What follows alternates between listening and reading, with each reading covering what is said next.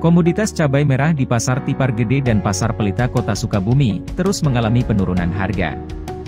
Dari rata yang tercatat Dinas Koperasi, Usaha Mikro, Perindustrian, dan Perdagangan, Diskumindak, Kota Sukabumi, cabai merah besar TW turun dari Rp32.000 jadi Rp30.000.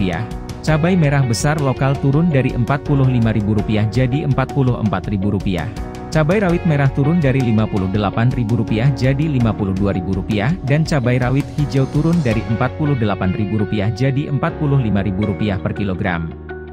Kepala Seksi Pengawasan Barang dan Strategis Diskumindak Kota Sukabumi, M. Rifki mengatakan, penurunan harga komoditas cabai tersebut sudah terjadi sejak beberapa hari terakhir.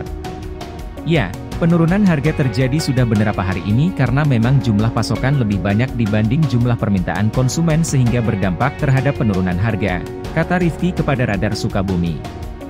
Lanjut Rifki, adapun bapokting lainnya yang mengalami peningkatan harga seperti, cabai merah keriting naik dari Rp36.000 jadi Rp38.000 dan kemiri atau muncang naik dari Rp46.000 jadi Rp48.000 per kilogram harga bapokting lainnya masih normal. Termasuk dengan ketersediaan, sampai dengan penyaluran dan pendistribusian barang hingga saat ini terpantau dalam kondisi aman dan lancar, ujarnya. Rifki menambahkan, Diskuminda memastikan tersediaan komoditas tersebut sejauh ini cukup aman. Setiap hari petugas melakukan pemantauan terkait harga hingga stok barang, Alhamdulillah pasokan masih cukup aman, pungkasnya. Sekian harga cabai untuk tanggal 16 Desember 2022. Untuk mendapatkan harga cabai setiap hari, silahkan subscribe ke channel ini. Sampai jumpa di video berikutnya.